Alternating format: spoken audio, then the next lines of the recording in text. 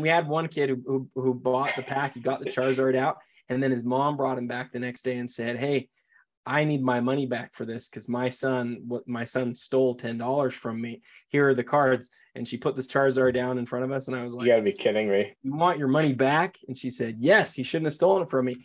And I looked at this kid, and I could just tell exactly what happened. And I said, "Well, this kid's got to learn a great lesson here." So I handed her her ten bucks back, and she's like, "Thank you for doing that." And I was like, "Yeah." No problem. We took it, we put it aside. We waited for a Charizard to get pulled again, and then we put this other one in there because we were able to sell. And I, I think we ended up selling something like 400 of these little bags, and we got rid of all of our stuff. And I remember my boss looked at me like he was like, "That was the smartest thing we ever did," and it was because Charizard. It's always been Charizard. So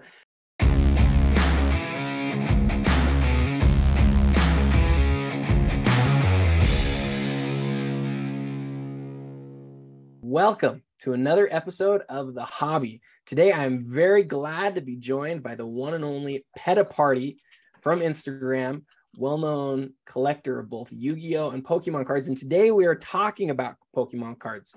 If you haven't been following, we've been doing something called the Iconic 100 here at PWCC, counting down the 100 most iconic cards across the whole hobby as voted on by 150 experts. But one thing that we've realized is we just don't have enough Pokemon on this list. And so I asked Peter uh, to, to jump on here with us. Peter, thank you so much for jumping on. How are you doing today? I'm doing fine, Adam. How are you making out? Awesome. We're I'm doing great. I'm excited to, to do this to do this episode with you. So the thing that I asked you to do is I said, can you compile a list, a ranked list of the 10 most iconic Pokemon cards in the whole of the hobby. And and i think you went out and and used uh basically used the community to help you do this. Can you describe first before we get into the iconic 10 most pokemon cards uh, most iconic pokemon cards can you describe how you like went through this process? Yeah well there's essentially a forum that's been active now for the last decade decade and a half where the vast majority of a lot of the I'll call it more hardcore Pokemon collectors like to congregate and discuss things. So I essentially went to the forum, which is called Elite Four, um, and just asked everyone, "Hey, what do you guys and gals think about this? You know, where do you think a few cards I threw out fall on the pecking order? Can you make some more recommendations?" I was planning on putting a couple cards here I thought might ruffle some feathers. And then I was completely blown away by the response on some of the people who were like completely in sync with where my headspace was at. So that was kind of funny to hear, to be honest. Awesome. So are you saying that like you went into this thinking that you kind of knew what the top 10 would be and that some people's responses like made you think that the cards should be higher some cards should be higher yeah some cards should be lower is that right yeah, and there's a few cards that I wasn't planning on including at all, even though I would have put them on the list. But if that many people gave their feedback, were like, no, like I really think like this is the best card for the list because of X, Y, and Z. I was like, well, as long as I'm not the only one crazy enough to I've had that feeling before too, where you're like, uh, in fact, this has happened with the Iconic 100. There's a couple cards on it that I love, a couple of them that I have, and I'm like, yeah I don't even know how these are going to do. And then you see the votes come in and you go, oh, it's not just me. And so, okay, so let's jump right into the list. Um, actually, first, are there any honorable mentions that you want to sort of you want to mention before we get into the top 10? Yeah, I'll, I'll throw in a couple of honorable mentions and a couple of caveats as well. Because realistically speaking, with Pokemon in particular, you know, Charizard is essentially the Michael Jordan of Pokemon, as a lot of people like to call him. Um, so if I'd left everyone up to their devices, half the list would just be Charizard. Same thing with base set. Like base set is so nostalgic for so many people because that's what they grew up with as kids. So a lot of people's default when they think about Pokemon cards as a whole automatically gravitates to the earlier stuff from base set and the iconic stuff like your Blastoise and your Venusaur and things like that. So I didn't want to have half the list be set cards or and the other half be Charizards. So we essentially limited the list to two Charizards and we limited the list to two set cards to try and add a bit of flavor to the mix, we'll say. So it wasn't just a, okay, yeah, Venusaur's going to be number five, Blastoise is going to be number three, and, you know, add a bit of variety to the mix. So I, totally, I totally understand this. Um, and I get this sentiment because when we were putting together the initial ballot for the iconic 100, we had like I think it was like 12 or 13 Jordans, and we kept having people say, "Oh, you need to put this Jordan on there, and you need to put that Jordan." On. I was like, all of a sudden, we're gonna have 60 Jordans on this ballot. We only have 200 spots. This doesn't work. So it's the same thing I think you're saying with Charizard, and it's the same thing with that original set. I think it's from 1999, right? Like, yeah, those two sets, you you limited it to each. I like the framework that you've put around it. Okay, tell us tell us what the the honorable mentions are. The list.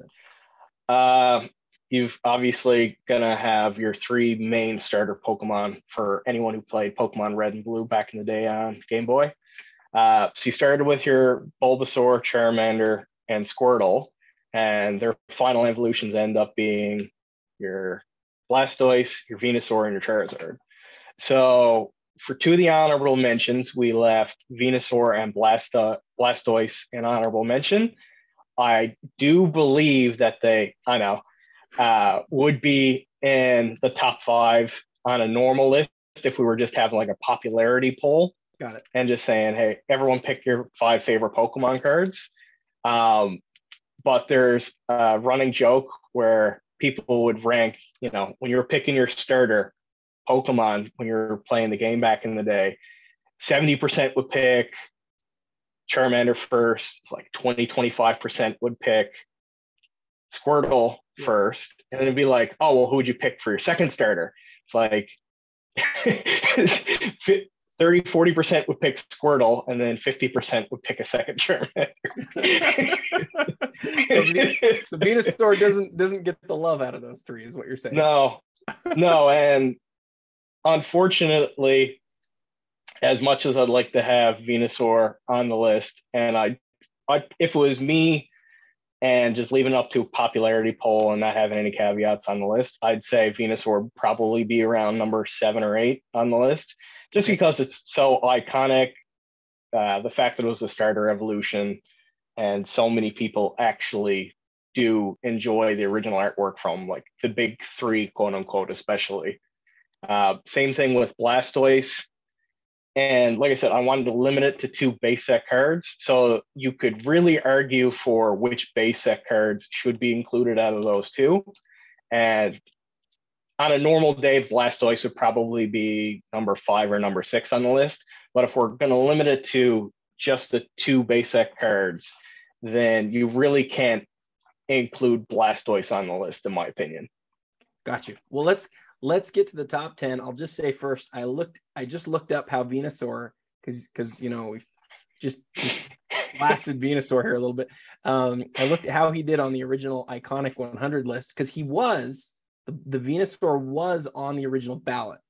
And out yeah. of two and out, out of 215 cards that were on the ballot venusaur finished a very respectable 165th so oh that's actually pretty good. Not on the top 100 and there are not too many Pokemon cards that made the the the, the list. I'm not going to say how many at this point, but like I said, it's it's too few in my opinion. And and this is Pokemon's not just like like just one of these other sort of gaming sets. Like no, it, is, it has its own following in a way that like it really stands alone, right? If I if I think back at my time working at House of Cards in Salt Lake City when I was a kid, for seven years. There's only one time during that whole seven years we ever deviated from sports cards at all at all, and that was during the, initial year of Pokemon's run in the United States. yep, where everything was just blowing out the doors. Like we just sold it so fast, and so yeah. Uh, it does have. They shut own... down a lot of the printers for sports cards back for that year too, just to print more Pokemon cards too. They had to because it was that popular. so with that said, who did you and the community over on the forum tell me the name of the forum again? Uh, elite four. On the elite forum who did you determine was was the number what did you determine was the number 10 most iconic pokemon card of all time?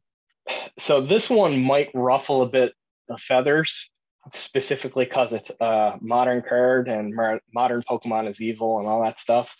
But when you think about modern cards that really drew people back into the hobby and like attracted a bunch of media buzz and headlines and stuff like that, you could argue that Evolution's Charizard from back in 2016 when the 20th when the 20th anniversary was on the go for Pokemon, that did draw a lot of people back to the hobby.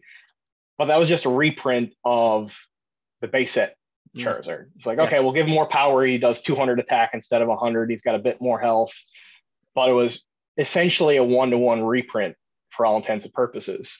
Um, the Hidden Fates Shiny Charizard GX that was released a few years ago, that was also technically a reprint, but the original hyper rare and full art version of that set back when it came out in Burning Shadows a couple years beforehand didn't have anywhere near the hysteria behind this card. Like you had people going to Walmart and getting into fistfights over trying to get boxes of Hidden Fates off the shelves to try and pull this card.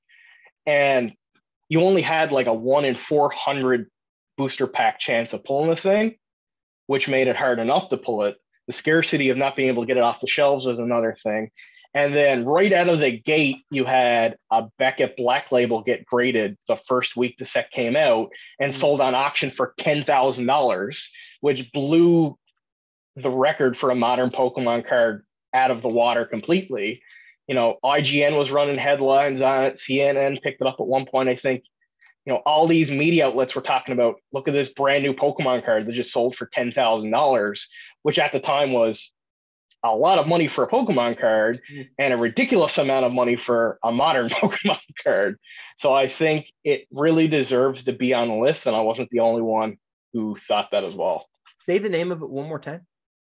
The Hidden Fates. Hidden it's a Fates. shiny Charizard GX. But it's not Lots a of... it's not a reprint of the of the original. It's got a different no, no, no. and it's and it's yeah, so it's a di- there's a different image on it. So it's a reprint with a different version from an earlier set. Basically, they took a bunch of older artworks they did and made them shiny and flashier mm. and made them way harder to pull. Got so, it. like I said, it was like one in 400 pack chance of pulling this thing. There was no normal booster boxes. So you had to buy all these specialty boxes like a pin box or uh, just random gift set or something like that. And each one of those only have like three to five packs in it. How so, often? Like, how often do you see this card up for sale these days? Is it pretty pretty tough card to find still? No, it's the set's been reprinted that many times now. It's pretty easy to actually get your hands on, but it still commands a premium over a lot of the other more modern cards that have come out in the last, you know, four or five years. Mm. And even the black labels, they bottomed out. It was around a thousand, fifteen hundred dollars for the black labels, and then they came back around there a few months or a year ago, and they're not doing 10 grand again because I think there's like three or 400 of them at this point.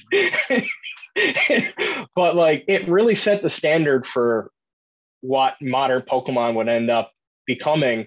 And it was right before the whole 2020 lockdown Pokemon boom when Pokemon actually like went to the stratosphere. So it actually drew a lot of those eyeballs back to the hobby before everyone got locked down. And like I said, there's people getting in fistfights at Walmart trying to get boxes of this stuff. I like, like it. Yeah, like it. it. was just let's, fun. Let's jump now to number nine on, on the list. What did you guys come up with at number nine? Yeah, so we've got the Neo Revelation Shining Gyarados. So for anyone who played the original uh, Gold and Silver games on Game Boy Color back in the day, they were actually the number one selling game for two years in a row because of how well those games sold. Hmm. It, and it came out just before Christmas one year and then just kept selling and selling and selling. So arguably gold and silver is the best slash most popular Pokemon game to be released. And that is the game that introduced the concept of what are called shiny Pokemon. So basically, you just hop into the tall grass and you get greeted by all these like explosion of sparkles that would just come out of nowhere. And the sprites of the Pokemon would have completely unique and different colorations to them. Mm. So a lot of people thought it was a glitch and would like turn off their Game Boy, not knowing what was going on, turn it back on. Okay, the color's back to normal. What it was, Game Freak actually inserted these like special chase Pokemon. You had a one in like 4,000 chance of encountering and just add a bit of, you know, like mystery and competitive like catching for people to, who played a lot of the game to have something post game to go and look for. So the only Pokemon you were actually guaranteed to get that was shiny was a Gyarados that you pick up through one of the quests in between gyms fighting Team Rocket. And the Neo Revelation Gyarados that we're talking about here is actually the p- depiction of you being out in like this little boat dinghy thing in the middle of this lake with this raging storm going on, trying to catch this giant like sea serpent. And the artwork is of the shine, like the red shiny version. So it really, this set and this card in particular, because this is the first shiny Pokemon card that they introduced, has a very special place in a lot of people's hearts because it's the only guaranteed shiny Pokemon you can actually catch in the game for like it was like 10 12 years after that point before they brought out another guaranteed shiny pokemon so for mm-hmm. a lot of people who didn't have the wherewithal to go out and try to catch 4000 of the same pokemon over and over again. Like this is your only shot at getting the shiny.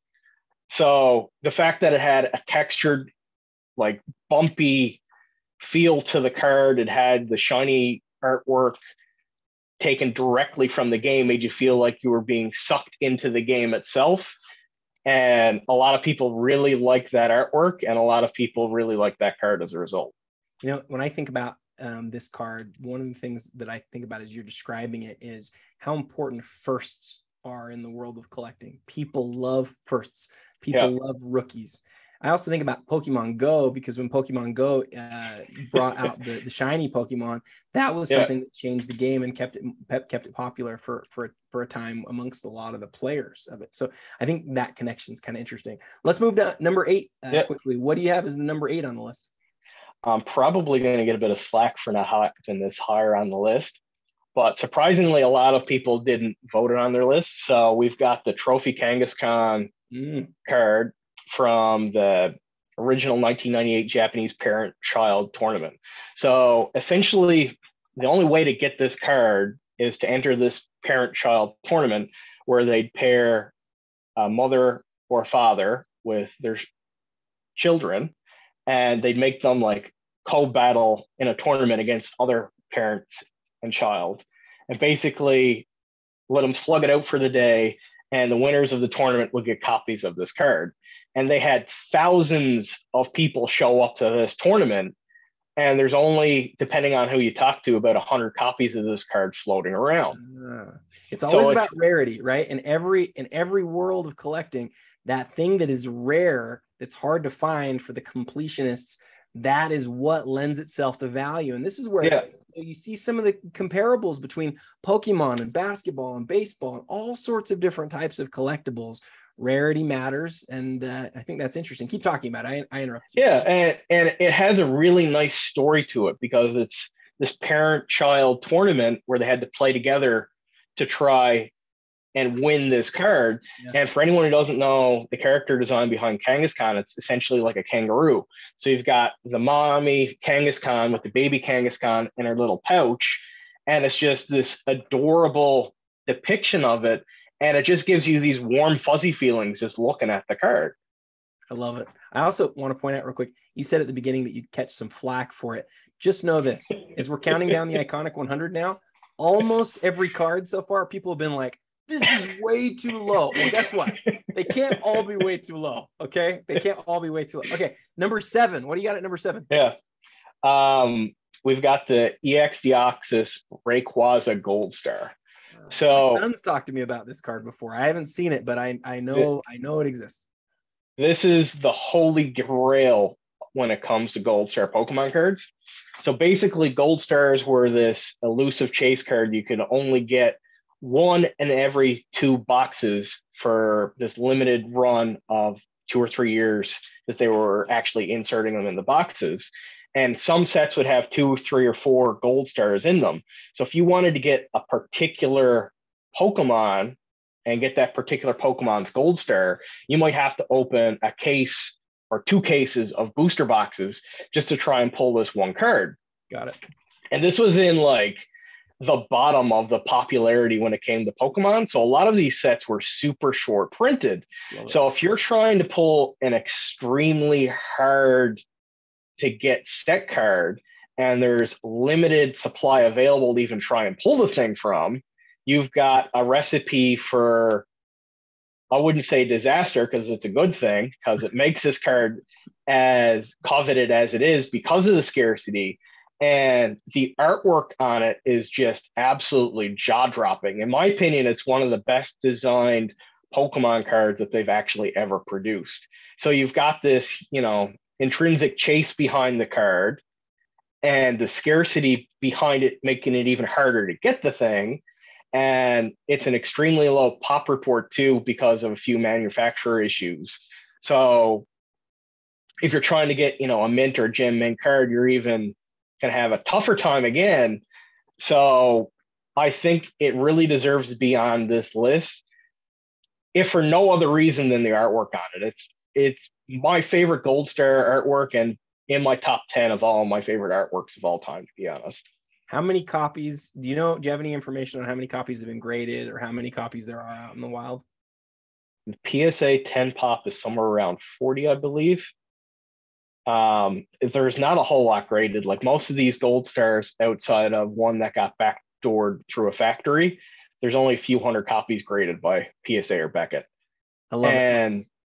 yeah, it's just a really nice card it's really hard to get your hands on. So I think it deserves a spot on the list.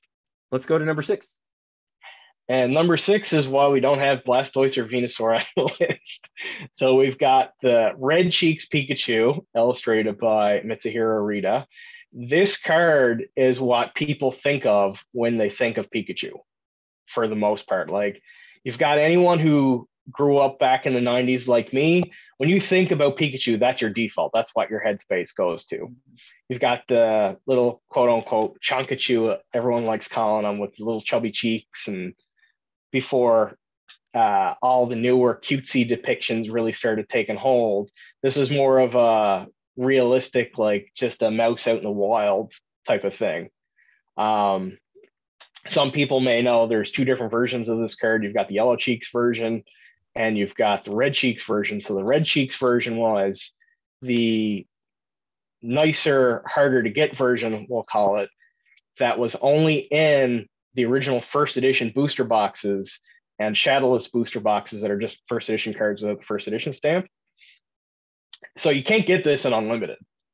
Mm-hmm. So if you're looking for a Pikachu card that's not going to cost you, you know, like $5 million, this is the card that people want. This is the card people grew up with. And I honestly think it's like Pokemon at its simplest, but at its best. You just got Pikachu just chilling out in a forest, just minding its own business. And I just like the simplicity behind the artwork. And that's just my default when it comes to Pikachu. I just think of that card automatically when I think again about the iconic 100 list that we did, we put almost all of the cards that, you've got here on your list. Almost all of them were were in our our ballot.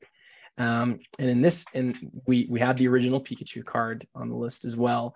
Um, I like the foreshadowing you did, by the way, on quote the five million dollar Pikachu. I, that, that, that wasn't lost on me. For, for people who keep, who keep listening to it, understand here what I'm what I'm talking about in a moment. But the question that I had about this one is, you know, you mentioned that uh, this is the red cheeks Pikachu, and there's another one that's yellow cheeks. Do you think that the manufacturers knew what they were doing? Was that intentional, or was this just, or was this just a thing that happened?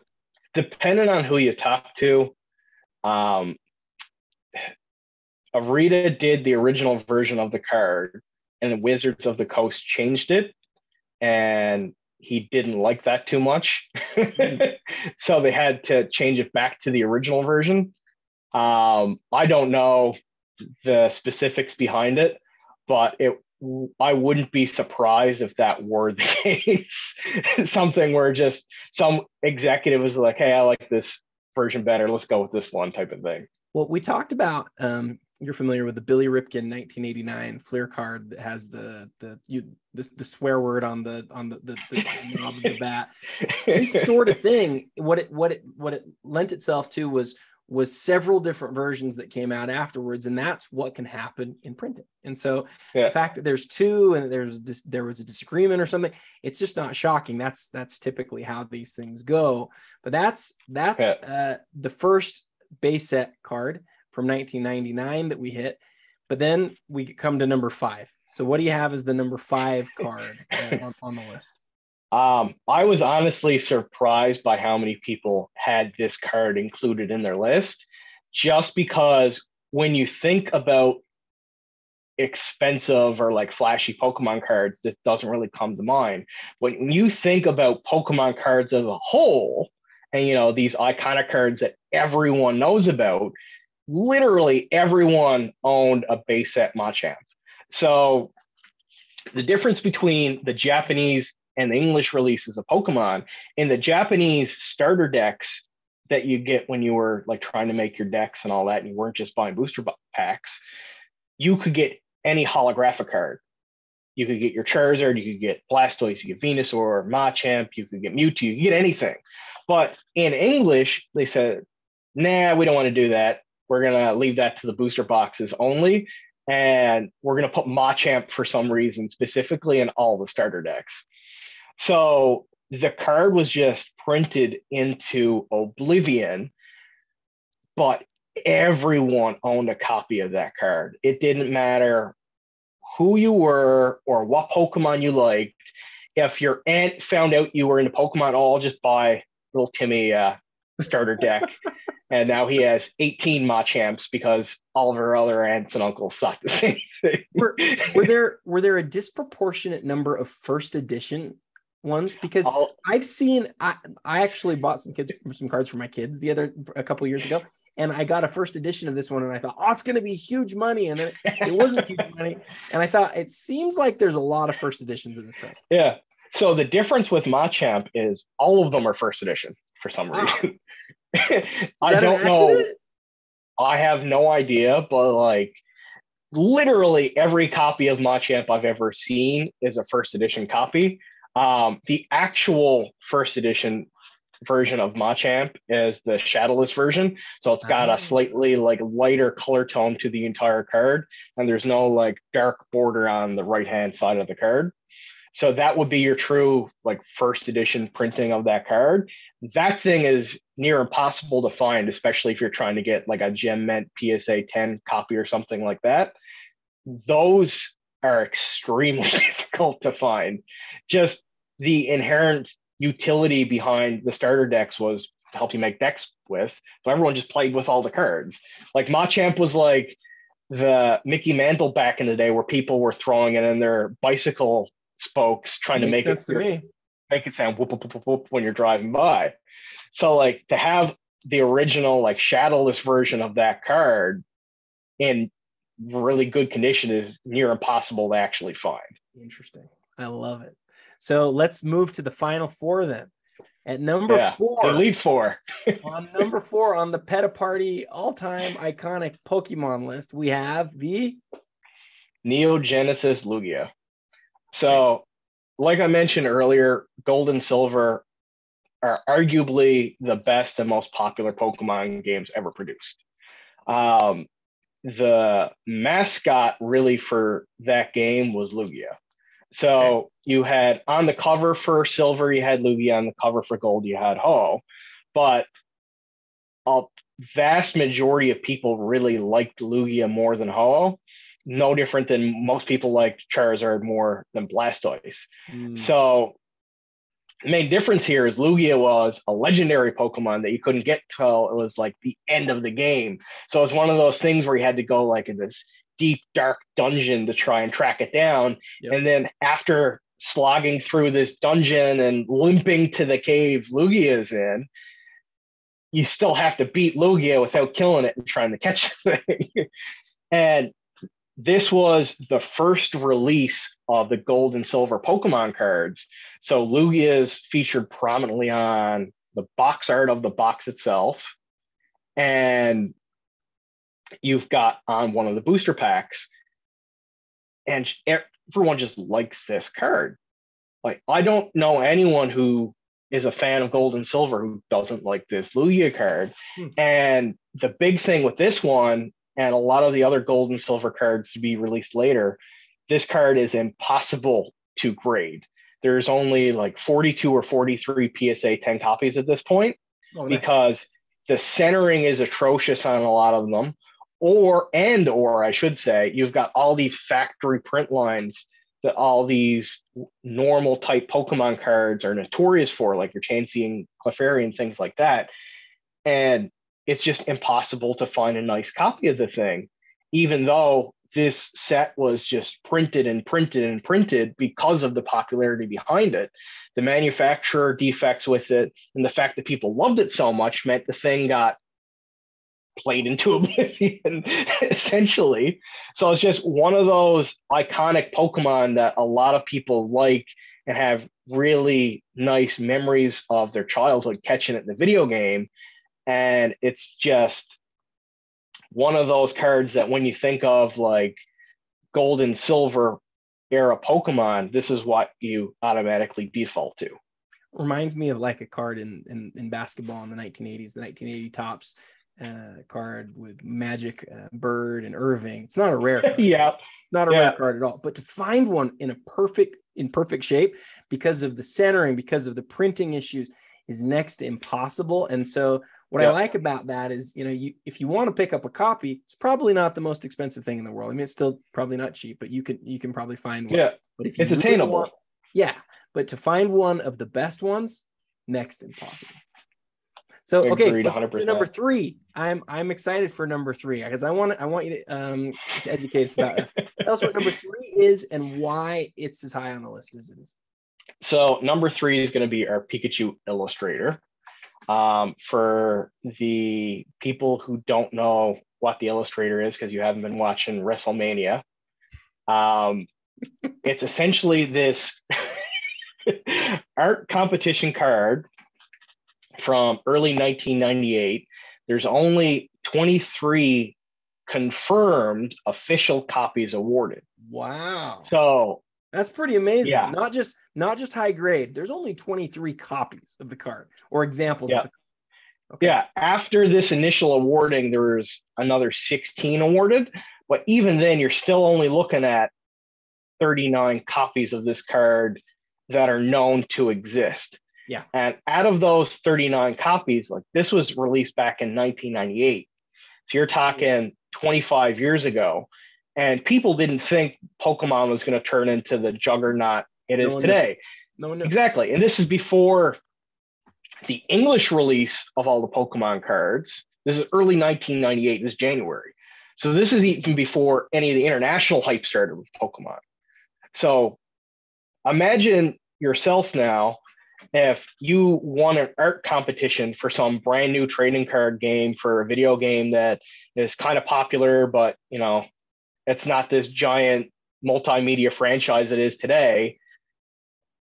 A lot of people would treasure that, but how many people are going to take real good care of that, especially if the franchise is quote unquote in the kids playing video games? Yep.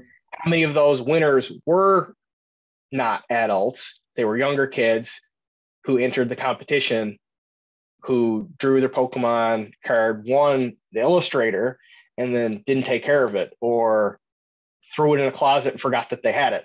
And whoops, mom threw up my Pokemon collection and now that card doesn't exist anymore. Yep. It's gone. It's thrown away. And yeah. it makes sense because it's a piece of cardboard that, especially at that time, nobody knew what Pokemon would become. No, I think no one that, knew that this that you know in 2021 an illustrator was going to go for five million dollars. Million dollars.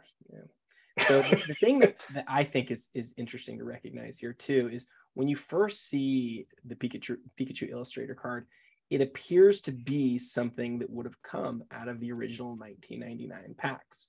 It's just through understanding the history of it, as you've just described, that you realize, oh, I could open every box of that ever made, and I would never pull the card.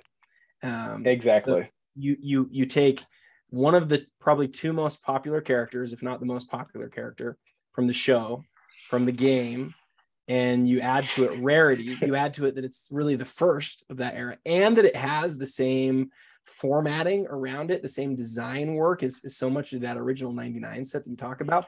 You add all of that together and then add to add into it how rare it is. And you have the perfect situation for the most expensive Pokemon card in the world. And Do you think it, it will just, always be the most expensive Pokemon card in the world? If a black label char base set first edition Charizard came around, I could see that maybe teetering depending on how badly someone wanted to pay for that card. But outside of that, I don't think anything beats Illustrator at this point. What would you What would you rather own if it if it existed? Would rather own uh, a black label Charizard or a Pikachu Illustrator that's like in really good shape? I go with the Charizard. Okay. Like it, it's different for me because I grew up with Charizard. I didn't grow up with the Illustrator, so Charizard has a special place in my heart. I like. For me, I'm a rare card collector who who collects cards based on the card, not not as much the grade. The grade to me is important, but yeah. it's very much secondary. So I yeah. love the as you just described the Illustrator to me. I'm like, I'm gonna go find one. I'm not actually going to find it, but um, I I've held an Illustrator before and it is quite honestly one of the most beautiful cards I've ever seen. Like the artwork behind it is just absolutely gorgeous. Like when you look at that and just shift it around in the light a bit, you just like, damn, I want to own one of these. All right. Well, we're down to the final two. Give us number two, Peter. Probably, I was expecting to get a lot of slack for having this on the list. And then almost everyone who I contacted had the ancient Mew movie promo card on their list. I was actually like blown away by how many people thought that this card was iconic as it is. I thought I was going to be an outlier and I was going to get a lot of people jeering at me, but almost everyone agrees uh, with how iconic this card is. Why is it? Why is it so iconic? Because again, everyone had a copy and it just looks cool. It's not your standard Pokemon card. It's got like these ancient hieroglyphics on it. It's got like this stone tablet etched illustration of Mew on it. It's just a cool looking, unique take on a Pokemon card. The whole thing, front and back, is holographic and has all these rainbow colors depending on what way you put it in the light like it's it's just a cool looking card, and everyone had exposure to it because everyone went to see the Pokemon movies when they came out back in the day. Amazing. I'll just say real quick about this one because we don't have a lot of time. Um, yeah. When I worked at the card shop back for those six or seven years, it was always Charizard. Everybody always talked about Charizard until close to the end of the popularity of, of Pokemon, where I heard kids saying, no, no, no, no, no the Mew. Mew's the one I want now. And so it felt to me like the, the kids of that era who were, you know, they were they were eight, they were eight or they were six to eight years younger than I than I was, right? I I kind of missed it. I was a little bit old to be collecting it at, you know, when it first came out. Yeah. Um, like those original kids, they had two cards um at the top of at, at the top of their list. And I think it's ironic that here we are right now going through this list. And you know, same two cards. spoiler alert, spoiler alert um, the top two cards on this on this list, Peter, are those same two characters that have yep. sort of been at the head of Pokemon conversations really now for you know 23 years. And so um, take it away. Tell us about the most iconic card in the history of Pokemon and tell us why is why what what the legend is behind it. The drum roll to no one's surprise at all is going to be base set Charizard that card by far and again is not only the most well-known Pokemon card, it's the most desired card by kids when they were growing up. And it just looks cool.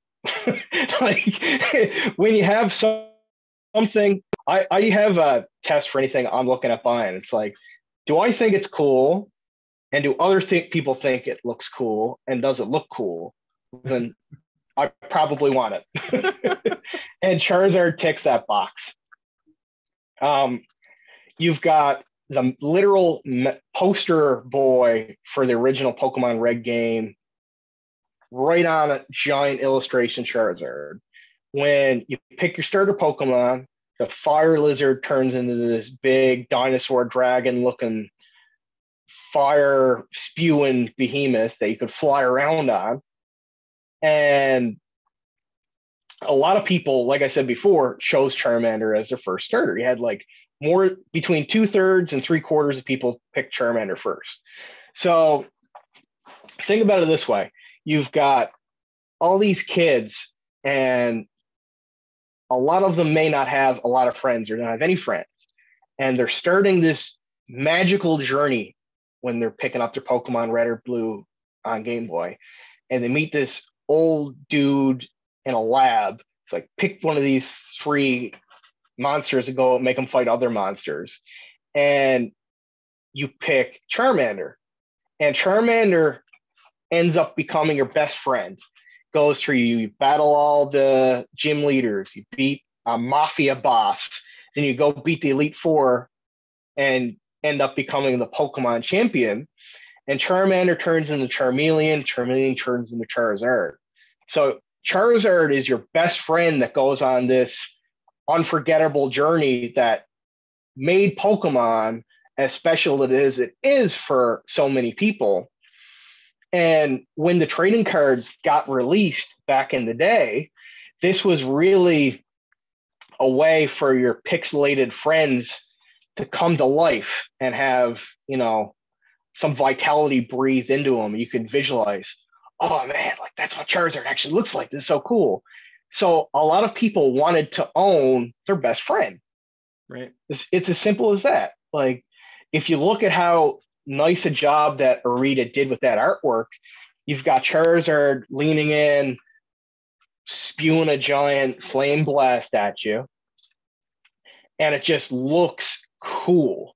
So you've got a lot of kids who, you know, are in the say 8 to 15 range who just see this fire breathing dinosaur dragon thing that was their best friend going through arguably one of the best video games ever created. Yeah. Everyone wanted that card. Plus, he had 100 damage in his attack, which meant he could wipe the floor with pretty well any other Pokemon you were playing against. So it's the perfect storm of having a story behind it. You've got great artwork and the whole collectability behind Pokemon as a whole. Everyone wanted to catch them all, quote unquote, yep. but everyone wanted Charizard. If you had to pick a card, you picked Charizard because it was your friend, it looked cool, and he did a whole lot of damage. you know, I think it's neat that Charizard bookends this list that you've got him at 10 that you've got him at one. Um, and like I say, when I look back at my time working at the card shop, everybody wanted a Charizard. At the very end of the of the Pokemon, um, I don't want to call it bubble, but that that initial it, sort of was. excitement around Pokemon, we had all these extra singles, and we had you know all the energy cards and just a whole bunch of stuff. and so I went. My boss was like, "What are we going to do to get rid of this stuff?" And I I said to him, "Well, everybody still wants Charizard. Let's create these grab bags. And so we took team bags with the fold over sticky side and we put yeah. in like five energies and five commons and you know a couple of uncommons and a rare and one holo foil card per pack and we so and we put them all in there and we said we're going to do you know it's like 20 something cards and we're going to charge $10 a piece for each of these and in mm. this box at all times there will always be at least one charizard and kids who were basically done with the whole collect Pokemon thing, they were still scraping together their 10 bucks so they could buy their little pack. And they'd come in. We had one kid who, who, who bought the pack, he got the Charizard out, and then his mom brought him back the next day and said, Hey, I need my money back for this because my son, what my son stole ten dollars from me. Here are the cards, and she put this Charizard down in front of us, and I was like, "You gotta be kidding me! You want your money back?" And she said, "Yes, he shouldn't have stolen it from me." And I looked at this kid, and I could just tell exactly what happened. And I said, "Well, this kid's got to learn a great lesson here." So I handed her her ten bucks back, and she's like, "Thank you for doing that." And I was like, "Yeah." No problem. We took it, we put it aside. We waited for a Charizard to get pulled again, and then we put this other one in there because we were able to sell. And I, I think we ended up selling something like 400 of these little bags, and we got rid of all of our stuff. And I remember my boss looked at me like he was like, "That was the smartest thing we ever did," and it was because Charizard. It's always been Charizard. So, Peter, I think that having Charizard number one on this list is a no-brainer.